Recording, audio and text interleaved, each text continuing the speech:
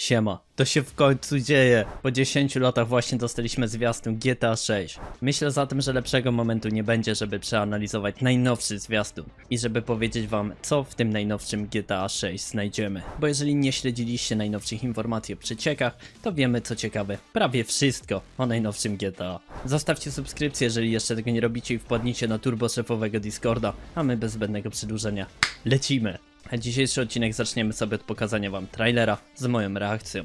Reakcję też wrzuciłem na TikToka oraz w formie shortsa, więc jeżeli już ją widzieliście, to odcinek podzieliłem na rozdziały, więc jeżeli chcecie sobie obejrzeć tylko analizę trailera, albo co w tym GTA 6 znajdziemy, skipnijcie sobie do tej minuty. Trailer ma też zmienioną muzykę, a to ze względu oczywiście na prawa autorskie. Jeżeli chcecie sobie obejrzeć pełny trailer bez mojej reakcji, to wejdźcie w link w opisie. Po pieprzonych 10 latach, trailer GTA 6. Mieli wypuścić go o 15, wypuścili go teraz, co się dzieje? I on się kręca. No aż, aż się boję w to kliknąć, ale klikam. A? Lucia, do you know why you're here? Bad luck, I guess.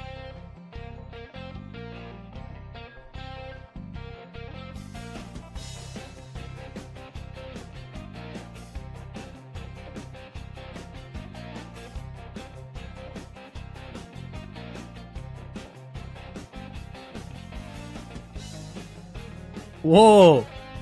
Co jest 5? Jak mega zajebista grafika.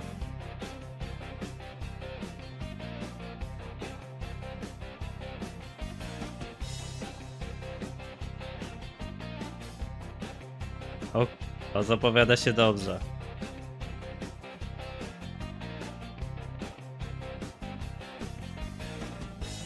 Social media. Well, look who's back. The only way we're gonna get through this is by sticking together, being a team.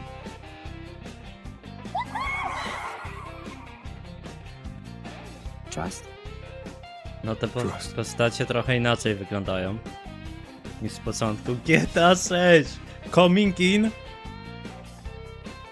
Kiedy? 2025! Git. To w sumie, nie, w sumie niedługo. W końcu, po tylu latach, ale ta gra dobrze wygląda. Ej, powiem wam szczerze, kurde. Ten trailer mógłby być zrobiony dużo lepiej, dużo lepiej. Mógłby być zrobiony na nostalgii i, i trochę inaczej niż zrobili, ale zrobili to tak jak, jak, jak spodziewałbym się kur... po GTA. No, wygląda naprawdę przepięknie ten świat. Jakieś social media widzę będą. Do, dowalony trailer. 81 tysięcy. 2 miliony lajków. Powiem wam szczerze, że spodziewałem się, że zagrałem na nostalgii i wleci tam jakieś. Ta, ta muzyka, co teraz tu słyszycie, ale nie wleciała. I może i dobrze, bo to jest GTA, jakiego potrzebujemy. To jest GTA 6, którego potrzebujemy! A tak swoją drogą to myślałem, że GTA 7 wyjdzie jeszcze przed GTA 6. Tyle trzeba było czekać. GTA 6 ma grafikę na zupełnie innym poziomie. Co możemy już widzieć po pierwszej scenie, przecież jak to wygląda. W oddali widzimy prawdopodobnie więzienie, w którym przebywa Lucia, czyli bohaterka nowego GTA 6. Scena druga pokazuje nam dokładnie to więzienie, o którym była mowa. Scena trzecia pokazuje nam Lucję w więzieniu. Jeden z lików w październiku mówił, że Lucja będzie zaczynać swoją przygodę w więzieniu i to tam właśnie zaczniemy GTA 6. Jak widać, prawdopodobnie jest to prawda. Scenie czwartej widzimy prawdopodobnie jakąś doradczynię, kurator, a może psycholog, która rozmawia z Lucją. Zgaduję, że nie jest to przypadkowa postać i nie pojawiła się tam tako i odgrywać będzie ona solidną rolę w GTA 6. Może będzie kimś w rodzaju fixera, który ostatecznie będzie wykorzystywać swoją pozycję do tego, żeby pomagać naszym bohaterom. A kolejna scena, którą wam teraz pokazuję, jest naprawdę mocna. I pokazuje nam m.in. stworzenia, które możemy tam znaleźć. Czyli mamy oficjalne potwierdzenie, że będą tam delfiny, oczywiście rekiny, różnego rodzaju ptaki. Chciałbym powiedzieć, że to mewy, ale w sumie nie mam zielonego pojęcia co to jest. Raczej mewy to nie przypomina. Trochę za duże jak na mewy więc pewnie mewami nie jest. Ekspertem od fauny i flory też nie jestem Miami, więc może w tym temacie akurat się wypowiadać nie będę. Ale przede wszystkim popatrzcie na ten widok. White City. 37 lat później. Popatrzcie też w ogóle na to zatłoczenie. Nie będą to zdecydowanie puste plaże. A grafika, którą to widzimy jest naprawdę przepiękna. Gdyby ktoś mi powiedział, że jest to jakieś zdjęcie, a nie faktycznie trailer gry, to powiedziałbym, że to zapewne prawda. Nie będę ukrywać, od początku myślałem, że to jakiegoś rodzaju cinematic, a tu się okazuje, że na 99% wszystkie sceny z trailera zostały nakręcone na silniku gry, coś absolutnie niezwykłego. Spójrzcie też na zasięg generowania, przecież to jest kompletnie nierealistyczne. Świetne odbicia i kolejny pokaz wyśmienitej grafiki. Cały ten trailer jest pokazem właściwie wyśmienitej grafiki. W tej scenie mamy coś w rodzaju pontonowca. Wiedzieliśmy, że prawdopodobnie takiego właśnie urządzenia będziemy mogli używać, a to za sprawą lików, jakie w 2022 roku obiegły internet, czy tam 2001. Nie, w 2002 roku. I oczywiście mamy tutaj bagniste tereny. Takie same tereny mamy też w ósmej scenie, gdzie spojrzeć troszeczkę szerzej możemy na faunę i florę. Kaczki, flamingi, aligatory i generalnie ptaki brodzące, które lubią polować na płytkich bagnach. I mamy też prawdopodobnie jakieś sarny, może jakieś daniele. Kolejna scena to niesamowity pokaz naprawdę ciekawych modeli, jakie znajdziemy w grze. Nie będę ukrywać zawsze w tych grach to, co osobiście mi sprawiało problemy i odbierało realności, to powtarzające się modele twarzy, czy przede wszystkim modele ciała, które przykładowo w Wiedźminie 3 są, są dokaszane bo się po prostu powtarzałem co drugi. Tak samo zresztą w Cyberpunku. Wygląda na to, że GTA 6 dostarczy nam sporo modeli twarzy, ale przede wszystkim też ciał i to mi się podoba. Ale też ciężko bazować na tych kilkunastu klatkach, które widzimy w trailerze. Będzie to zapewne bardzo, albo było, ciężkie do wykonania. Zważywszy, że wygląda na to, że ilość tu osób na plaży będzie naprawdę spora. I wygląda na to, że nudy tam nie będzie. A NPC będą wykonywać różnego rodzaju czynności. Każdy praktycznie w tej scenie robi coś innego. Tutaj gościu smaruje laskę olejem. Swoją drogą popatrzcie jak ten olejek się na niej odbija. Też mega, mega ładnie to wygląda. Tutaj prawdopodobnie jakaś para biegnie sobie z pieskiem, tutaj grupa trzech znajomych sobie podróżuje, a tutaj chyba ktoś nagrywa filmik promujący OnlyFansa. I tak samo w tej scenie spójrzcie na dystans renderowania. Wow, jeżeli to realnie będzie gra i w grze będziemy mogli jeszcze używać pierwszej osoby, a kto wie, może i przykładowo gogli VR za pomocą jakiegoś moda, to naprawdę można to pomylić z rzeczywistością. Jak Rockstar wprowadzi tutaj do tej gierki VR-a, to od buta kupuje. To co ciekawe, to możecie jeszcze popatrzeć na ten piasek w tej scenie oraz odbicia na tym piasku cieni. Przecież to jest kompletnie nierealne. Ale patrząc po tym, co zrobili z Red Dead Redemption 2, a to było przecież 5 lat temu, to pewnie jednak jest realne i jest to dość powalone. Kolejna scena przedstawia oczywiście łodzie na wodzie. Ale rym. Myślę, że nic dziwnego, że w GTA 6 będziemy mogli podróżować łodziami. Ale popatrzcie co tu się dzieje, bo dzieje się prawdopodobnie wyścig. A sama woda, detale tej wody, odbicia chmur, no, wygląda to naprawdę przepięknie i klasycznie daleki dystans renderowania. Scena 11 przedstawia bawiącą się Lucyę w sukience. Powiedziałbym, że coś świętują. I gościa, który ją nagrywa. W równie luksusowej furze. Mamy też przedstawiony kolejny fragment Vice City, że w grze znajdziemy downtown oraz dworzec lotniskowy Vice City. Mamy również fajnie odbijające się światła, nie są to jednak tak przepiękne odbicia jak wcześniej, ale kiedy zapewne odpalimy kamerę z trzeciej osoby, wyglądać to będzie jak w prawdziwym życiu. Podróżuje ona też z Jasonem. Tutaj znaleźć możemy kolejną część tej przeogromnej mapy, w tym całkiem sporo samochodów, które znajdziemy w GTA 6. Podobno ma być ich naprawdę mnóstwo. Mamy nowy samochód, ale także stare, przerobione klasyki. Po raz kolejny, gdyby ktoś powiedział mi, że ta klatka nie pochodzi z gry, tylko z prawdziwego życia, zapewne bym w to uwierzył. Popatrzcie na odbicia tego szarego budynku tam z tyłu. Jak to wszystko niesamowicie wygląda. Mamy tutaj do czynienia z prawdopodobnie jakimś zlotem samochodowym. Kiedy przewiniemy troszeczkę dalej, naszym oczom ukaże się też ciekawy motor. Swoją drogą ta zielona fura to Chrysler 300. Mamy też prawdopodobnie jakiegoś bezdomnego i jakąś dziewczynę, która robi sobie selfiaka z furami. Cała ta lokalizacja jest odzwierciedleniem Winewood Art Miami z prawdziwego życia. Kolejna scena pokazuje nam jeden z dwóch prawdopodobnie dostępnych klubów ze striptizem. Warto zwrócić uwagę na pieniądze i jak one realistycznie tutaj wyglądają, bo wiem gdzie wasze oczy lądują. Popatrzcie na te światła i jak niezwykle i naturalnie się łączą i odbijają. I przede wszystkim na tą fizykę, tych wielgaśnych pośladków i piersi pani tancerki. Patrząc po aktualnych scenach, ta gra będzie najbardziej chyba zbliżoną do realności grą, jaka powstała do tego czasu i pewnie powstanie aż do kolejnego GTA bo Rockstar przynosi grafikę i fizykę na zupełnie nowy poziom. Również zwróciłbym tu uwagę na różnorodność ciał i stroi. Kolejna scena pokazuje nam tak zwane bloki, tak zwany HUD oraz dwóch czarnoskórych ziomków, którzy się witają. I po raz kolejny zwróciłbym uwagę na odbicia w lustrze, na tło, a przede wszystkim na detale postaci. Wow. W tej scenie widzimy też bandanę na głowie jednego z ludzi, Całkiem możliwe, że ten człowiek to członek haitańskiego gangu, jaki prawdopodobnie w GTA 6 będziemy mogli znaleźć. Kolejna scena przedstawia nam panoramę na jednej z wysepek, jakie znajdziemy w GTA 6. I powiem wam to samo co mówię zawsze. Wow! Nie wiem czy trzeba cokolwiek dodawać. To nie wygląda po prostu jak gra, a wygląda jak prawdziwe życie. Nawet takie detale jak inna wysokość fali na oceanie wokół. To ma sens, bo wiatr przecież w danych segmentach wieje inaczej. Absolutnie nierealne. W trailerze znaleźć możemy też samo Downtown Miami, w tym wypadku właściwie Downtown Vice City. Szybkie fury, duże pieniądze i zwariowane życie. Mamy Porszaka, mamy stary Ferrari i dwie powracające fury z poprzednich GTA. Po raz kolejny mamy bezdomnego i trzy podróżujące razem dziewczyny.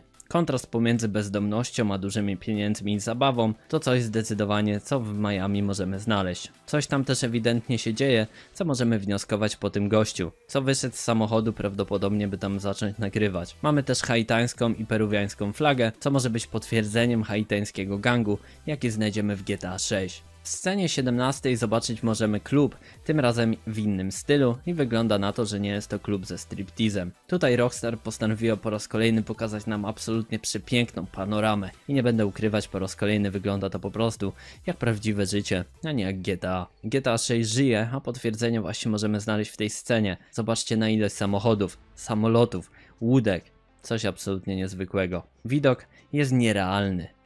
Uhuhu, dwa nierealne widoki. No i też za nimi mamy fajną panoramę miasta. Po raz kolejny mamy tutaj pokaz różnorodności ciał i stroi, ale też fizyki włosów. Wygląda na to, że będą one realnie symulowane w czasie rzeczywistym. Kolejna scena pokazuje nam wielki napis Vice, ale przede wszystkim pokazuje nam nieco więcej atmosfery i pogody, jaką będziemy mogli tam znaleźć. A tutaj znaleźć możemy kolejne wideo, z jakiegoś rodzaju social media, ponieważ mamy tutaj opcję zafollowowania kogoś. Wiemy zatem, że social media będą. Pytanie pojawia się jak bardzo interaktywne. Rockstar nienawidzi zdradzać fabuły i dawać podpowiedzi co w niej znajdziemy. Stąd zapewne taka ilość filmów z samych social medii, które znajdziemy w GTA 6, a brak jakichś scen z fabuły. A może w GTA 6 social media będą odgrywać istotną rolę. W każdym razie mamy tutaj dziadka tańczącego z jakimiś młodymi laskami, tak zwanego sugar daddy. W trailerze możemy też znaleźć jakiś profil ochrony zwierząt czy tam dzikiego życia i jednego z pracowników wyławiającego aligatora z czyjegoś basenu. Taka sytuacja w takich miejscach jak Miami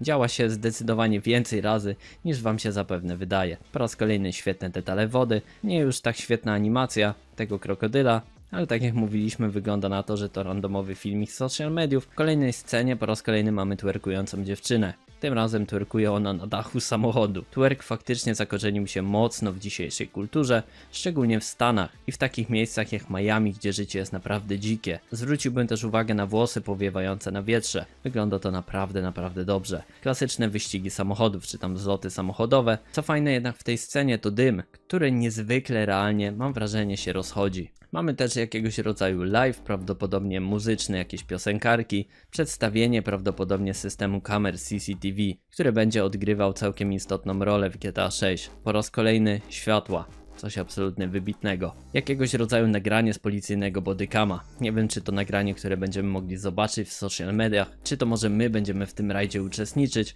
W każdym razie wygląda to naprawdę naturalnie. W kolejnej scenie policja po raz kolejny angażuje się, goniąc jakiegoś półnagiego gościa. Po raz kolejny zwróciłbym uwagę na absolutnie przepiękne chmury oraz odbicia. W kolejnej scenie mamy klasyczny road rage, ale też detale na jego twarzy, skóra, tatuaże czy brudna czapka wyglądają bardzo realistycznie. Fajne jest też to, że mamy rączkę do trzymania drzwi przyklejoną na taśmę. Detale robią tutaj naprawdę robotę. Kolejnej scenie mamy jakiegoś gościa, który trybutuje śmierć jakiegoś, kto wie, może rapera, albo same nagranie tego rapera i post jakiegoś gościa na social mediach z jego nagraniem. Detale, odbicia oraz model postaci wyglądają tak realistycznie na tym ujęciu, że nie jestem w stanie uwierzyć, że to nie jest przygotowana animacja. Jeżeli to zostało zrobione na silniku GTA 6, no to już bym oszczędzał 10 tysięcy na nowy komputer, bo inaczej pewnie tego nie odpalimy. Ale wygląda to naprawdę przepięknie. Tutaj jakiś gościu podlewa sobie trawnik w stringach. Vice City.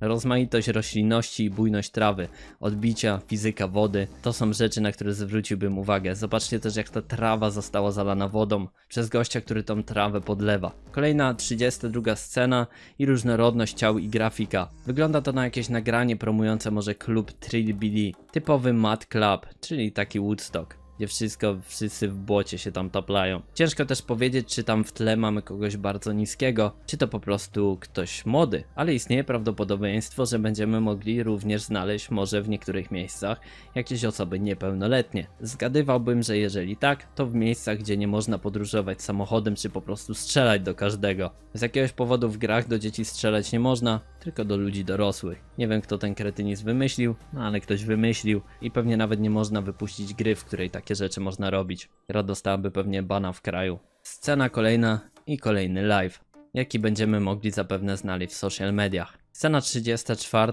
to jakaś scena z imprezy. Zwróciłbym uwagę tu na zachowanie napoi i fizykę stołu. Coś naprawdę niezwykłego. I w scenie 35 dostajemy pierwsze spojrzenie na Jasona i Lucję. Świetne odbicia w lusterkach i piękne detale, takie jak żyły na jego ręce. Wygląda to dosłownie realistycznie. Kolejna scena przedstawia Jasona i Lucję, ewidentnie po jakimś napadzie czy kradzieży, którzy przejeżdżają koło zapewne wezwanej na miejsce policji. Scena 37 to jakieś nagranie z telewizora, ale ilość odłamków jakie tam leżą po tym wypadku czy wgniot w barierce jest turbo realistyczny. Trochę więcej motorów, które znajdziemy w grze i oczywiście widoki. To kolejna scena. Policja zawiodła i nie udało im się zatrzymać gangsterów na motorach terroryzujących Vice City to podpis, który tam znajdziemy. Możemy też spojrzeć szerzej na kolejne samochody. W następnej scenie Lucia i Jason szykują się do napadu. Całkiem możliwe, że do tego co widzieliście wcześniej. Po raz kolejny powracające marki z innych GTA, m.in. piwo. Ale jeżeli spojrzymy na te butelki i te produkty, które możemy tam znaleźć, są one niesamowicie zdetalizowane.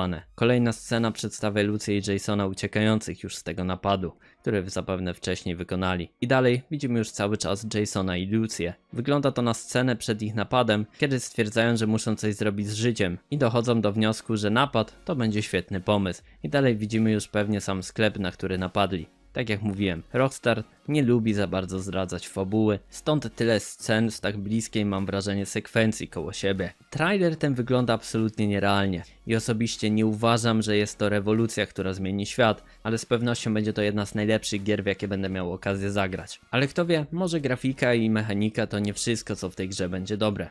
Może scenariusz do tej gry pisał Spielberg i okaże się, że Live is Strange to scenariusz tam pisał 7 latek w porównaniu do tego GTA 6. W samym trailerze nie dostaliśmy dużo, ale postarałem się omówić tak dokładnie jak tylko mogłem. Sama też analiza to nie koniec dzisiejszego filmu, ponieważ o GTA 6 wiemy dużo, dużo więcej niż w tym trailerze dostaliśmy, a to za sprawą mnóstwa lików, które pojawiły się w sieci. Jeżeli ktoś do tej pory ich nie śledził, podsumuję wam to wszystko, co przez 5 lat od premiery Red Dead Redemption 2 zebraliśmy. A zaczniemy sobie od pogadania o tym, co prawdopodobnie będzie w GTA 6. Zacząłbym od najważniejszego, czyli od bohaterów. Tych bohaterów, tak samo zresztą jak w GTA 5, będzie kilka. Co do ilości dokładnie pewności mieć nie możemy, ale liki, które dostaliśmy, plotki oraz trailer z pewnością potwierdzają dwie grywalne postacie. Zgodnie z przeciekami raportami dziennikarza Jasona Sherriera, gra ma wprowadzić pierwszą w historii żeńską protagonistkę, latynoskę o imieniu Lucia, która ostatecznie ma pełnić rolę hakerki. Zresztą potwierdzenie tego, że Lucia będzie grywalną postacią w GTA 6 dostaliśmy właśnie w trailerze. Oprócz niej istnieje również informacja o istnieniu drugiej postaci, mężczyzny Jasonie, którego mieliśmy okazję zobaczyć na trailerze. Ma być on chłopakiem Lucy. Historia naszej pary ma być bardzo podobna do historii Boniego i Clyda. Historia o parze, która współpracuje razem, napadając na banki w drodze do bogactwa i szczęścia. Nie są jeszcze dostępne szczegółowe informacje na temat charakterów, ich historii, ani tego jakie będą relacje między nimi. Chociaż o tym chodziły plotki od dawna, teraz już wiemy na 100%, że GTA 6 odbywać się będzie w Vice City, fikcyjnej wersji Miami, którą odwiedzić mogliśmy już w poprzednich częściach gry, konkretnie to w GTA Vice City. Mapa gry miała pierwotnie obejmować obszary wzorowane na obu Amerykach, północnej i południowej, ale została ograniczona do skoncentrowania się na mieście Miami i jego okolicach. Gra będzie sięgać dalej na południe Miami w kierunku Everglades, czyli bagien i Florida Keys, łańcucha tropikalnych wysp. Jeżeli zrzuty ekranowe potwierdzą nasze przypuszczenia, z lików jak i z trailera, wiemy, że mapa GTA 6 będzie obejmować naprawdę różnorakie tereny, od miast po same bagna. A do GTA 6 z GTA Vice City powrócą klasyczne lokalizacje jak Live Links, Malibu Club, Washington Beach, Ocean Beach, Ocean Drive, Ocean View czy Little Haiti. Ale wiemy też, że znajdziemy tam takie lokalizacje jak boisko do piłki nożnej, dwa kluby ze striptizem, dworzec kolejowy, park przyczep kampingowych, salę bingo, zakład uzdatniania ścieków, no mega lokalizacja, kręgielnie, centrum handlowe oraz sklep wędkarski. Ze zlikowanych filmów wiemy, że w GTA 6 będzie przynajmniej 157 budynków, do których będziemy mogli wejść, chociaż spodziewam się, że wynik ten znacznie się powiększy. Znajdziemy też stadion Loan Depot Park oraz Miami Airport Station. A w tych wszystkich miejscach będziemy mogli wykonywać różne aktywności. Między innymi będziemy mogli się ścigać samochodami, łowić ryby, grać w golfa czy uprawiać hazard. Będziemy mogli również okradać wany, wykonywać różne dostawy dla NPC oraz oczywiście napadać na sklepy czy banki. Z ciekawych aktywności będziemy mogli też zbierać różnorakie rzeczy, innymi części do samochodów czy czapki dla Jasona, a może i nawet różnego rodzaju markowe ubrania. A a propos ubrań i marek, w grze będziemy mogli spotkać o takie marki, a część z luk jakie widzieliśmy w GTA 4 czy w GTA 5 powróci. A w tych wszystkich lokalizacjach oprócz oczywiście zwykłych ludzi będziemy mogli znaleźć różne gangi, m.in. Sun for Sun, czyli gang Haitańczyków oraz Far Right Militia. Na mapie znaleźć będziemy mogli zróżnicowaną faunę i florę, m.in. zwierzęta takie jak węże, w tym na pewno pytona, mewy, skunksy, szopy pracze, aligatory, dziki, różnego rodzaju ptaki brodzące, to właśnie takie ptaki co polują w płytkiej wodzie na, na różnego rodzaju żaby czy coś, przykład jak bocian czy flaming. Będziemy mogli też spotkać wiewiórki, żaby leopardowe, raki, jaszczurki, gołębie, oposy, jelenie, delfiny, rekiny czy psy, przykład taką chihuahua.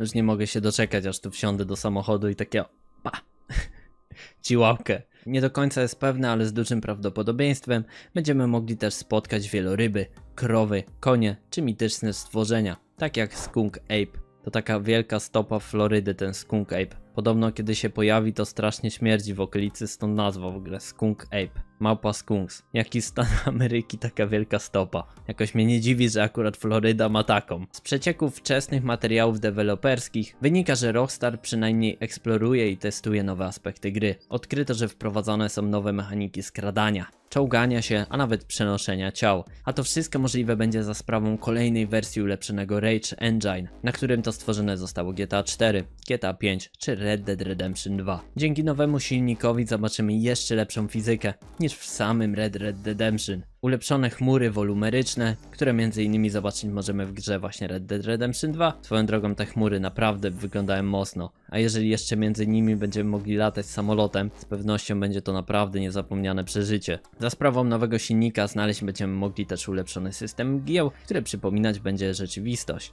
Z tego co również wiemy, w grze pojawi się sporo wydarzeń, które my sami będziemy mogli spowodować, wykonując to jakieś czynności na mapie lub też podejmując jakieś decyzje w misjach. Będziemy mogli po prostu spotkać na mapie, co jest zrozumiałe i logiczne jak na to, jaką gigantyczną grą będzie GTA 6. Łącznie w grze ma być ponad 800 losowych wydarzeń. Z ciekawych mechanik, które dostarcza nam nowy silnik, to możliwość zmiany ramienia podczas celowania, chwyt podczas walki na pięści, czyli te walki będą jakieś tak bardziej urozmaicone, jak i również temu towarzyszowi będziemy mogli pokazać, gdzie powinien na przykład iść, czy będziemy mogli kazać mu nas osłaniać w trakcie, kiedy my będziemy się przemieszczać. Będziemy mogli okradać rozmawiać czy grodzić NPC-tom podczas napadu. Będziemy mogli też kupować nieruchomości w celu prania brudnych pieniędzy, a sama Lucja będzie potrafić hakować różne rzeczy. Policja w GTA 6 również wiedzie na wyższy poziom, a między innymi podkablować będą nas mogli świadkowe zdarzenia, o ile takowi będą na miejscu. Będą mogli przekazać policji informacje nie tylko o naszym opisie, ale również przykładowo o opisie pojazdów, którymi się poruszamy. Policja będzie mogła też przykładowo podnosić bronię. Prawdopodobnie sama policja będzie mogła również się na nas zasadzić, gdzieś przykładowo, kiedy będziemy w sklepie, czy w jakimś na przykład centrum handlowym. Nasz świat jest również cały pokryty kamerami, co sprytnie zapewne będzie wykorzystywać policja w najnowszym GTA 6, bo GTA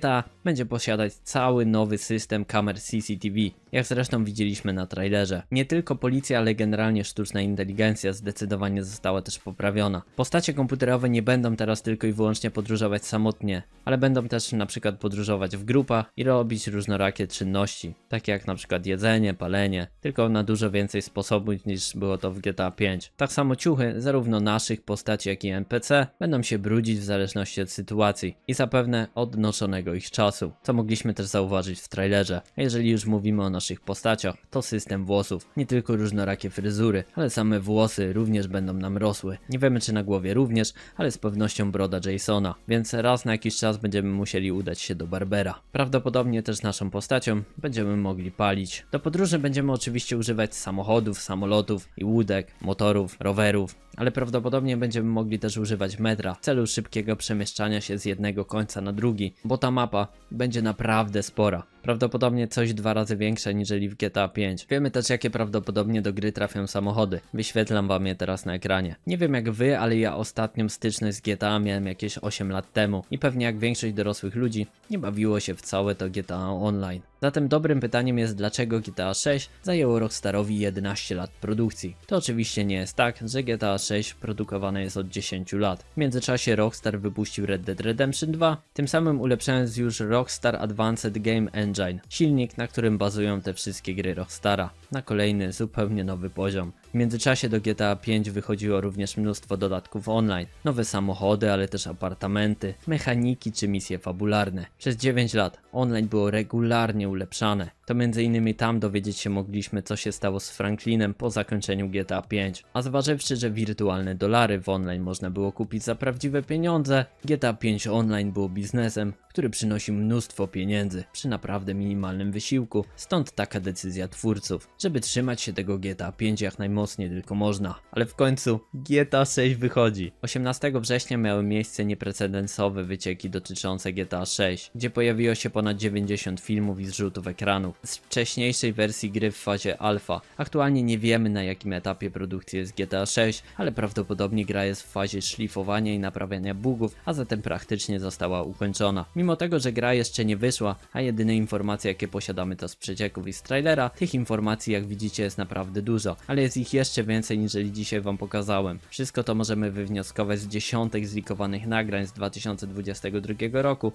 które wykradł pewien 16-latek. Jeżeli chcecie sobie poczytać o tym wszystkim, co znajdziecie w GTA 6 ze szczegółami, takimi jak animacje palenia i inne pierdoły, link do 57-stronicowego PDF-a opisującego każdą klatkę każdego zlikowanego nagrania znajdziecie w opisie. Oczywiście co ostatecznie trafi do gry tego nie wiemy, ponieważ tylko twórcy mogą zadecydować o tym, czy coś dodać i usunąć, czy usunąć jakieś postacie, wątki, a nawet i pojazdy z gry, jeżeli nie będą im one pasować. W każdym razie GTA 6 zapowiada się myślę naprawdę nieźle i z pewnością jakieś ciekawostki w przyszłości z niej tu znajdziecie. Tak szczerze mówiąc dawno się tak nie jarałem, chyba z 3 lata temu Cyberpunkiem 2077. A jeżeli nie chcecie przegapić ciekawostek, zostawcie subskrypcję na tym kanale i wpadnijcie na giga turboszefowego Discorda, link wyskakuje wam na ekranie. Na tym kanale nie będę też przedstawiał każdego liku GTA 6 jaki wycieknie przez najbliższe 2 lata, ale myślę, że wypuszczenie trailera GTA 6 było dobrym momentem do podsumowania tego wszystkiego, szczególnie, że po prostu najzwyczajniej w świecie to śledzę. A więc do zobaczenia. W międzyczasie, jeżeli nie macie co robić, polecam wam film, który wyskakuje wam na ekranie.